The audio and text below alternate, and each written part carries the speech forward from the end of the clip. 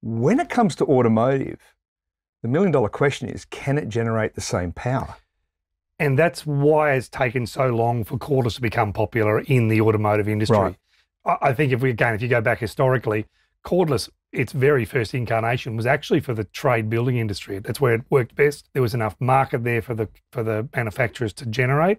They made tools that worked, mm, and they were okay, but Mm. they didn't meet all the needs.